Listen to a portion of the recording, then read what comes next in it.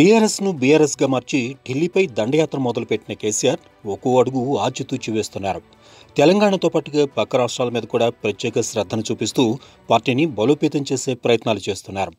మహారాష్ట్ర మీద ఎక్కువ నజర్ పెట్టినట్లుగా కనపడుతున్నారు. ఇప్పటికే రెండు భారీ సభలు నిర్వహించిన కేసీఆర్ ఆ రాష్ట్రంలో కీలక నేతలను పార్టీలో చేర్చుకున్నారు. కేసీఆర్ చూపు ఎక్కువగా మహారాష్ట్ర మీదే కనిపిస్తోందని క్లియర్గా అర్థమవుతోంది. దేశంలో అతిపెద్ద రాష్ట్రాల్లో మహారాష్ట్ర ఒకటి. ఇక్కడ నలభై ఎనిమిది పార్లమెంట్ స్థానాలు ఉన్నాయి.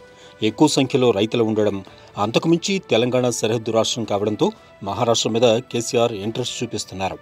ఇలాంటి పరిస్థితుల్లో ఇప్పుడు కొత్త ప్రచారం రాజకీయ వర్గాల్లో చక్కర్లు కొడుతోంది. రెండు వేల ఇరవై నాలుగు ఎన్నికల్లో కేసీఆర్ పార్లమెంటుకు పోటీ చేయబోతున్నారని అది కూడా మహారాష్ట్ర నుంచి బరిలోకి దిగబోతున్నారనే వార్తలు తెగ షికారు చేస్తున్నాయి. ఔరంగాబాద్ లేదా నాందేడ్ నుంచి కేసీఆర్ పోటీకి దిగుతారనే ప్రచారం నడుస్తోంది. ఈ రెండు పార్లమెంట్ స్థానాలు కూడా తెలంగాణ సరిహద్దు జిల్లాలు కావడంతో ఈ ప్రచారానికి మరింత బలం చేకూరుతోంది. ఇప్పటికే పార్టీ నేతలకు ఈ సమాచారాన్ని అందించారని దానికి తగిన ఏర్పాట్లు చేయాలని కేసీఆర్ ఆదేశించినట్లుగానూ తెలుస్తోంది. బీఆర్ఎస్ నుంచి స్పెషల్ టీం రంగంలోకి దిగి వివిధ పార్టీల నేతలను కార్యకర్తలను బీఆర్ఎస్లోకి చేర్చుకుంటున్నారని చర్చ సాగుతోంది.